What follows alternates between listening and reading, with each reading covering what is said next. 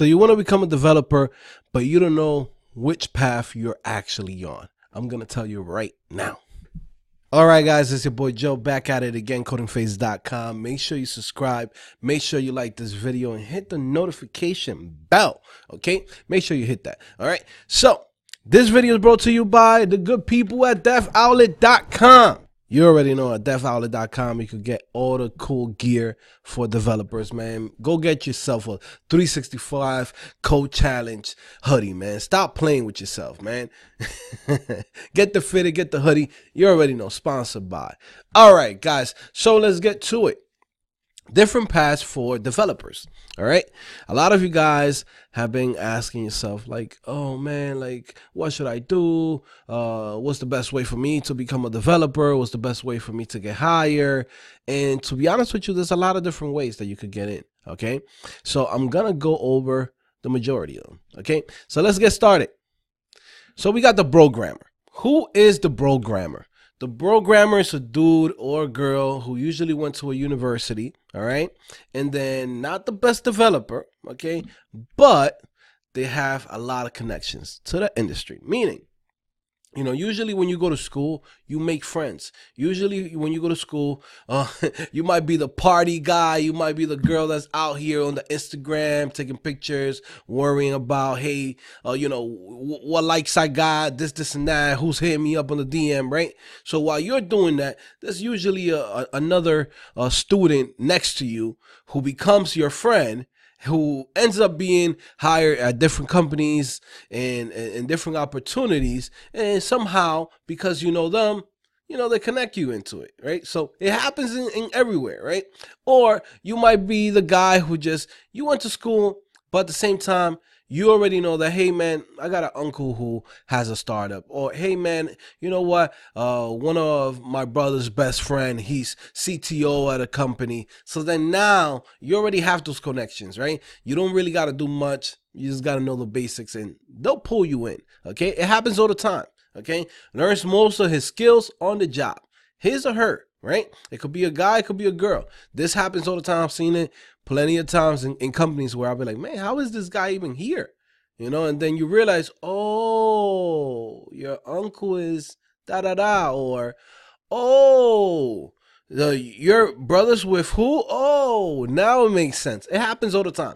In every company, every industry, it doesn't matter. There's gonna be nepotism. There's gonna be, you know, hookups. You know, there's gonna be a plug. And even in the web dev community, the tech community, period, there's always gonna be some type of plug where you know people pull you in. Okay, it's normal. It's life. We can't do anything about it. All right. So the next one is the self-taught. Okay, the self-taught. That's why I classify myself too.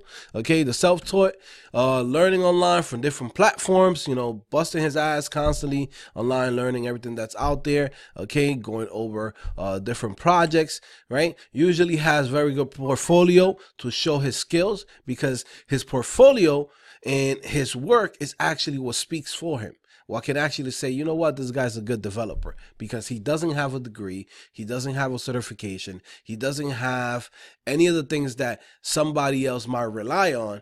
We rely on our work, and that's where I classify myself too, on as a self-taught developer. Right now, lacking the fundamentals of computer science. Okay, there's a lot of things that by getting a degree you get that solid foundation. When you don't get that degree, you don't have that solid foundation. And that's something that you got to work on. And that's why I usually recommend that once you start working as a developer, you start learning more about computer science and the lower level of uh, basically programming. You know, everything from garbage collection to uh, lower languages like C, maybe C, right? And I was thinking about this yesterday. I was watching on Google I.O.'s. Uh, conference, they were talking about how they created an application in C++, right? That basically compresses the images uh, to a very tiny small size. Then they use a WebAssembly to connect it to the web. And I was like thinking in my head, I was like, man, how many guys out here, you know, actually know how to do all of this stuff, right? Like this is more lower level, right? And this is something that as a self-taught developer, you are lacking. And, and that's just being 100% honest, right? I went through the same thing, right? I actually had to go online and, and even after I started working, I, I went in and got my computer science foundation through online taking uh, school uh, courses like the uh, Harvard uh, University online courses, or, or going to edX or Coursera, right? Like those are things that you just have to do for yourself, just for your own growth. It doesn't mean that it's stopping you from getting a job, but just because if you want to grow as a developer, you're just gonna have to do it. Okay, so it is what it is. Now, uh, the next thing is suffers the most from imposter syndrome. Okay, the self-taught developer usually uh, is the one that suffers the most. Okay, when it comes to imposter syndrome, and it's because you feel like because you don't have a degree, you don't have this paper behind you, right? You feel like, man, there's guys that's smarter than me, there's guys that's gonna be better than me, but in reality that's all bullshit, right? to be honest with you. Because once you're working and once you're you're hired, you're good to go, kid. You know what I mean? Like take that out of your mind. Don't worry about if you got a degree or not. You can get a degree later on. If that's something that you really, really want, you could get a degree whenever. Okay. So yeah, don't worry about it. Don't don't don't stress yourself out. Okay. Now, this is a great way to get into the industry because you usually have the projects and the type of work that companies need you to do straight off the bat, right? Like as soon as you start going in, like you already know what to do because you've been actually building projects and companies really love that because we need somebody that can actually do the work, not just somebody that can say, hey man, I got a degree. And, and, and that happens a lot of times. Okay, then there's the bookworm. Who is the bookworm, right? Usually went to college or university, uh, usually don't have any real projects when they graduate. And that happens all the time. If you feel a certain way and you feel like, no, I had a lot of good projects when I graduated, leave a comment. Let me know. Okay, I want to know. But the majority of people that I see straight out of college, they don't have no real projects, bro. Like they went to school. You know, usually people like to get an A, people like to get their B's. You know, they like to just pass the, the class and be like, well, I got to see, right? Right. But in reality, it's very rare that that people come in and, and, and actually take time after school to start building projects and, and see what type of uh, projects they need to get a job. And that happens all the time.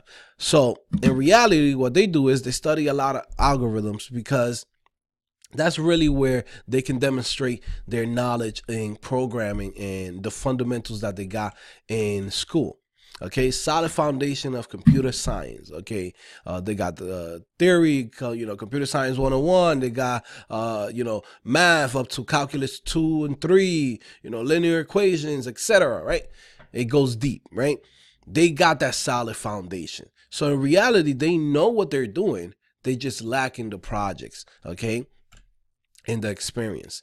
Uh, usually gets in by passing technical tests. Okay, those are the guys that they go in and be like, you know what, I'm gonna apply to Google and I'm gonna bust my ass the next two months to study all of these algorithms and keep my mind fresh. Like they don't even focus on projects. Like I'll be honest, a lot of guys don't even focus on projects. What they're focusing is on the technical questions and the technical tests. Now, this is not for everybody, okay?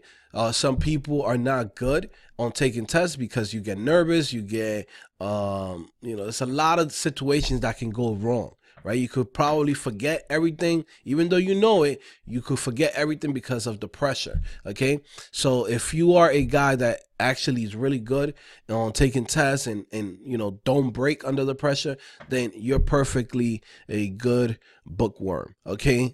so shout out to you.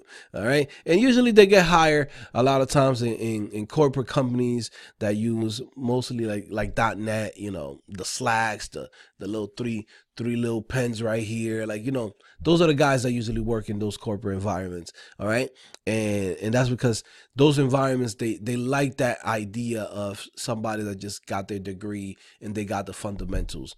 All right. So definitely if you are a bookworm, hey man, wear it we're very proud. Okay. The networker. Who is the networker? Okay, a social developer. All right, we have seen them everywhere. Okay, uh, goes to every meetup, conference, and event. All right, actually host their own events or uh, usually creates their own meetup groups. All right. You're very active online, YouTube, Twitter, Pinterest, Instagram, pretty much everywhere. All right. Now, because people know them, they will get job opportunities. All right. And, and this is a very good example. Let's say, for example, I come in and I show up to every meetup, right? And one day there's a job opportunity and they need a front end developer or a back end developer, right? Instead of a company hiring a random person that they don't even know, right? Somebody that goes to that meetup group or goes to that conference says, Hey, I know little Billy. Hey, I know little Cindy. You know, I'm comfortable working with them. You know, sometimes they might not have all of the skills, but because they have done so much networking and, and people know their faces, right? They're like, you know what? Bring them on, right? So what they lack in skills they make up by being active in the community right so that's perfectly fine. If you are the networker that's completely fine. You know wear it you know proudly okay? It's fine. We do need the networkers right? Those are the guys that usually make events happen. Those are the guys that that get shit done okay? Um and yeah shout out to them. All right the next one the wasted talent okay? And there's a lot of wasted talent Okay. Uh, usually the wasted talent are talented developers. Okay. Antisocial, not good working in teams. All right. Those are the guys that think they know everything. The guys that be like, uh, this guy's wrong. This guy's wrong. Uh, we should be doing it like this. This how I want the code written. This is how you know. Let me do a, a let me do a code review on your code. Like, bro, like it's working, everything's good, right? Everything is perfect, good. Why you worry about other people's code constantly, right? But that that's what happens, right? The wasted talent. Now, usually has over 100 Git repos, but no one knows they exist right? And this usually is the guys that be either in the mama's basement that you might see them on on Reddit, you might see them on on Twitter, right? That they're constantly judging other developers' work or constantly uh, saying, "Hey, we could do this faster. Hey, we could do this better," or this, this, and that. But nobody knows them, okay? Because they're so smart and so talented that in reality, they're too good for everybody. Okay, and it happens all the time. I see it all the time here on YouTube. I see it all the time on, on Twitter. I see it all the time on Instagram. There's people that's very talented that's working on, on very good projects in their house and nobody knows who they are. Nobody knows what they're building, right? And in reality, time flies by. Next thing you know, they're like 40 something years old and they've never worked as a developer. But they're very talented, but in their house. Okay. And that happens all the time. So rarely works as a developer. Uh, I've seen people that um, have gone that I've met like in a meetup, and I'm like, man, this person is super talented, right? And then I start picking up on things. I'm like, oh, wait, why this guy's not hired? You know, and then you start realizing he's very judgmental of everybody's code. He thinks he knows everything. He thinks he, he has the solution to everything, right?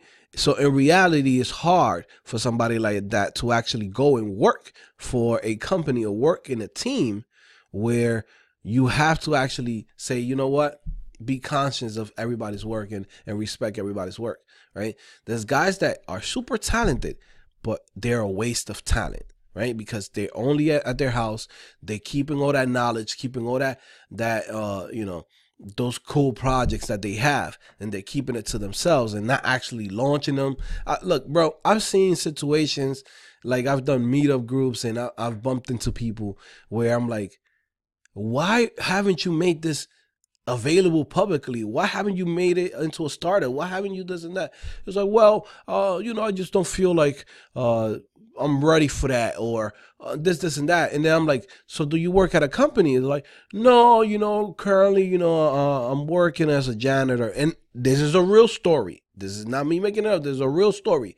A guy that was super talented. And I'm like, bro, how long you been programming? Well, I started in 1992, da da da. I was doing some VB or this, this, and that. And I'm like, bro, you're telling me you're out here working as a janitor and, and and you never really went the extra mile to start working with other people and working for companies.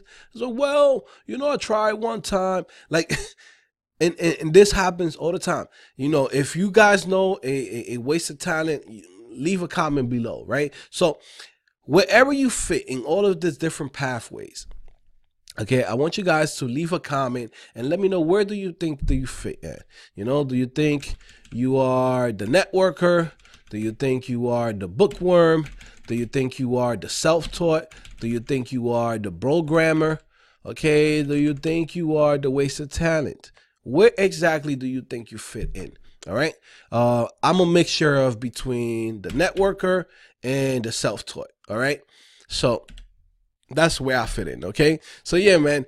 Anyways, guys, it's your boy Joe back at it again, codingphase.com. Make sure you go to codingphase.com, guys. Learn how to code, right? If you want to take the self taught route, right? Come in. I got everything that you need to start going and, and get hired, right? Because that's what I do. As a self taught developer, I only care about getting hired, getting the money, getting, getting my work in. And that's what I focus in, right? If you're a person like me that wants to just start working as soon as possible, come to my website. Pretty much, I learned so many different things and I just broke it down for you to learn it quicker and faster than anywhere else. All right. I'll see you guys later. It's your boy Joe back at it again, codingphase.com. Peace.